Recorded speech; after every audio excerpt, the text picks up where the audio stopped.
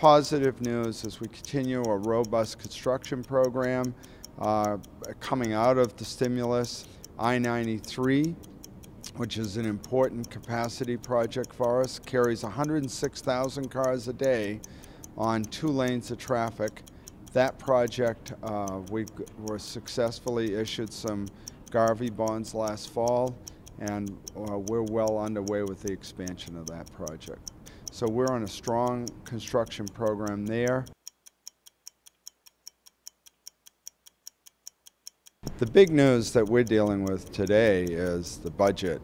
It's all about the money. Uh, the, both chambers of the legislature have reduced our motor vehicle surcharge, which reduces annually $55 million a year of funding from the Department of Transportation and the Department of Safety. Now, New Hampshire has a disciplined, uh, constrained 10-year capital program, and this takes us from about the 450 miles a year we need to pave down to about 250 miles a year.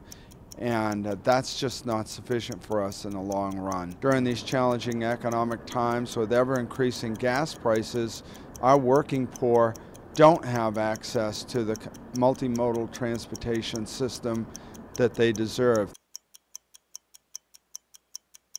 We're reevaluating our 10-year capital plan and making that case to the legislature, and we'll see. We're in the middle of a process right yet.